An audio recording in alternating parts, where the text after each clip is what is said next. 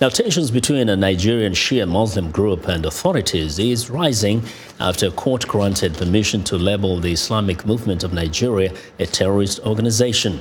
Security forces have clashed violently with the group as they took to the streets of Abuja to call for the release of their leader, Ibrahim El Zakzaky. Authorities have held El Zakzaky in custody since deadly clashes in 2015, despite a court order for his release. On Monday, a Nigerian judge ruled El Zakzaky could seek medical treatment abroad.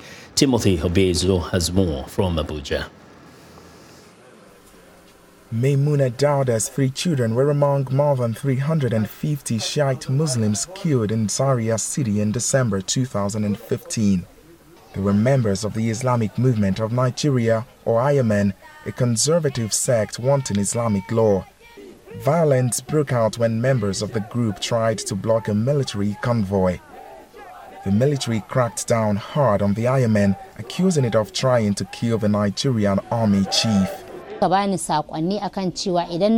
got a call from my daughter that the military had shot her in the stomach and her sister in the head and set the leader's house where they were hiding on fire.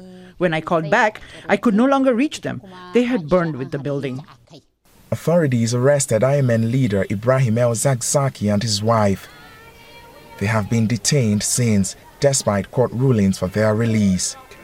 Their supporters' sporadic protests and security crackdowns have left tens of people dead. This government doesn't want to free Sheikh Ibrahim Zakzaky. They want him dead. As they tried killing him in his house, God did not allow them. Now they keep him in their custody. Police blame the Islamic movement of Nigeria for the violence. We've seen protesters attack,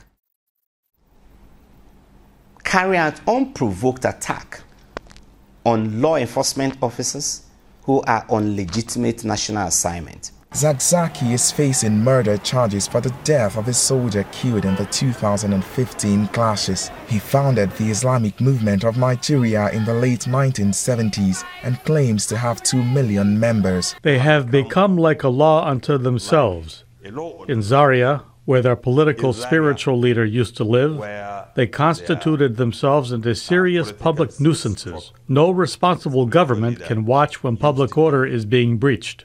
A Nigerian court in late July granted permission to label the IMN a terrorist organization, further raising tensions with the Shiite sect. The Islamic movement of Nigeria rejected the label, and observers expect further protests, clashes, and victims. Timothy Obiezu for VOA News, Abuja.